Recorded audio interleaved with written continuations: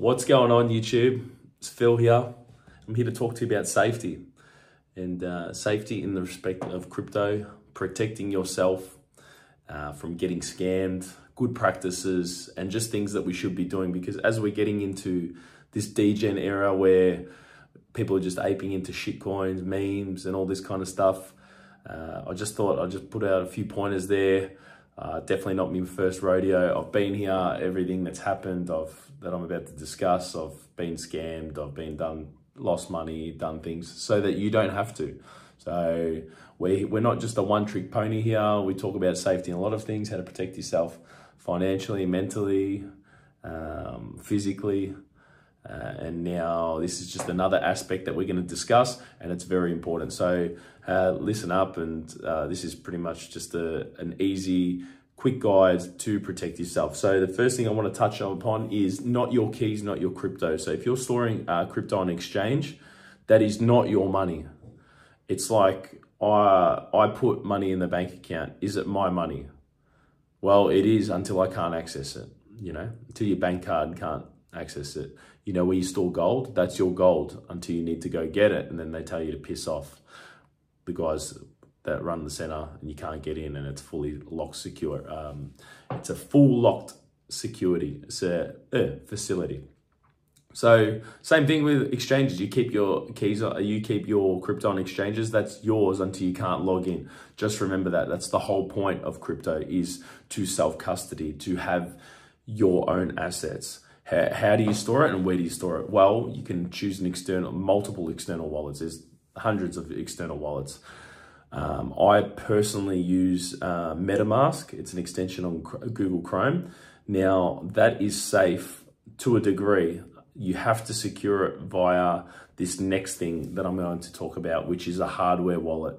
So the hardware wallet is, it can't be compromised. It's something external that you plug into, um, into your computer, your laptop, and it's no different. You can send, it generates an address, for a lot of different changes, for a lot of different chains, and you can send it, it generates an address there, and you send it from the exchange to your hardware wallet.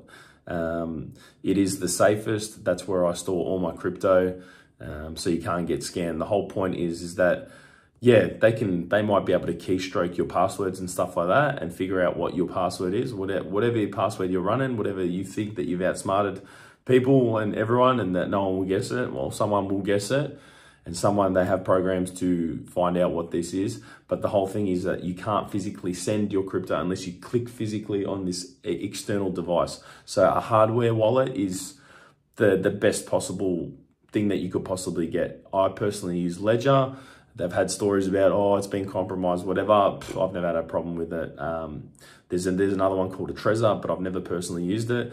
Ledger's fine for me. Uh, whatever it is, I don't care. Whatever, whatever you think that you need to get, whatever you don't like, just get a hardware wallet. So I'll be doing that. I'll be taking it off exchanges as well.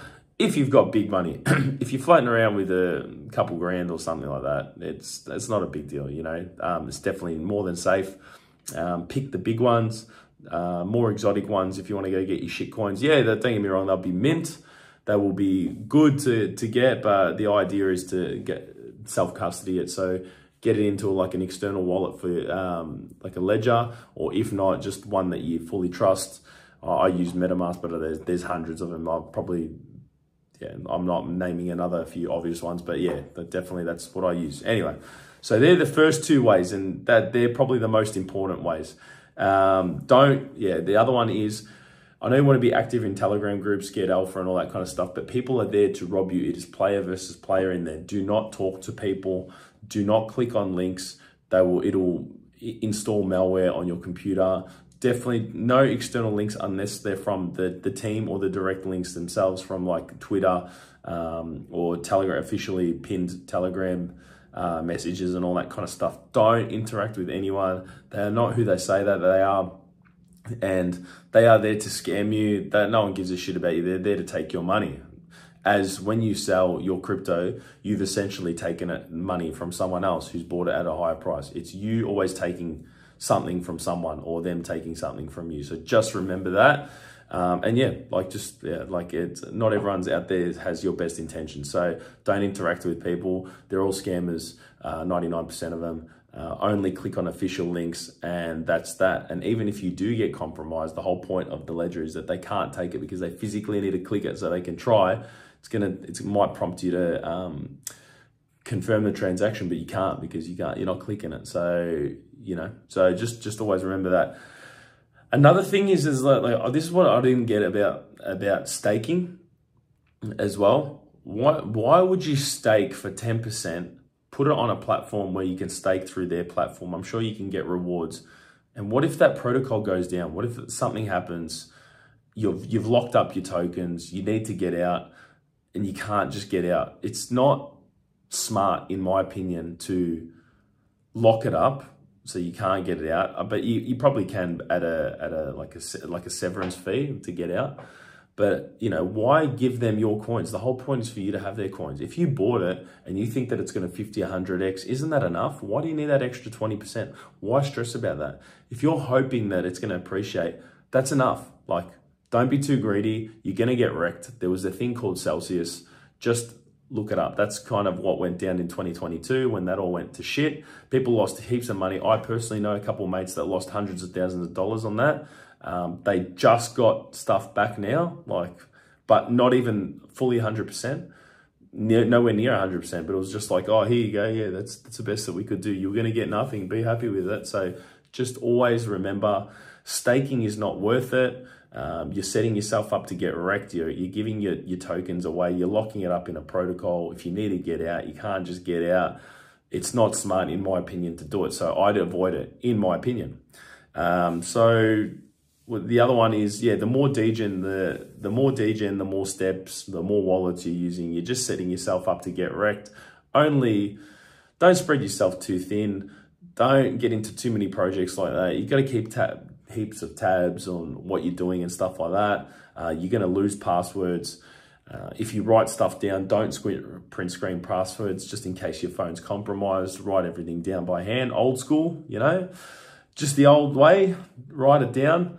Uh, and I get, yeah, so like in recap, if it's on your exchanges, not your crypto, get a hardware wallet so you don't get wrecked. Um, stay out of Telegram groups of talking to people. People are there to take your money. Just know that. Um, don't, uh, don't stake, guys. Like, uh, it's the, it's not worth it. I know you want to participate in the network, but if you think that you're going to get 100x, isn't that better to just you know get like the gain without all the hassle and just in case shit goes down? And then, yeah, like the less steps the possible, the less steps, uh, the better. Um, and I'm just saying this just so you don't get wrecked. I know that I know that it's going to get frothy. Um, you're going to think that you're going to want to participate in this to get these airdrops and whatever. But I've I've been making good money and I've, I haven't been doing any of that shit, and I'm stress free. So just something to think about, guys. Don't get wrecked hey, this is the thing, you can get wrecked, but the, the market is forgiving. You can get wrecked multiple times and still hit a home run. So don't keep trying, uh, always strive to be better. And just remember, don't get wrecked. I'll, I'll see you in the next one. Ciao.